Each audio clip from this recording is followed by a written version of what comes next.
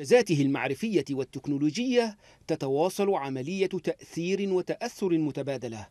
إذ تتراكم المعرفة الإنسانية ويتقدم الإنسان ويخترع المزيد من الأدوات التكنولوجية التي بدورها تؤثر بقوة في أسلوب الحياة والتفكير والعمل للأجيال اللاحقة. ولعل ثورة المعلومات التي انطلقت بقوة مع بدايات القرن الجاري كان لها بالغ الأثر في إحداث ما يمكن وصفه بالثورة الأسلوبية في التفكير والعمل لدى الشباب في أنحاء العالم. إذ تؤكد دراسات بحثية متخصصة أن شباب جيل الألفية لا يتعلقون كثيرا بالمؤسسات والتقاليد القديمة ولا يعملون فقط من أجل المال وإنما يرغبون في أن يكون لعملهم مغزى. ولذلك فإن تحقيق الرضا الوظيفي لديهم لا يكون بتوفير بعض الخدمات الترفيهية من جانب المؤسسة وإنما يكون بتوفير الفرص التدريبية لتمكينهم من المزيد من النمو والتطور المهني والمعرفي.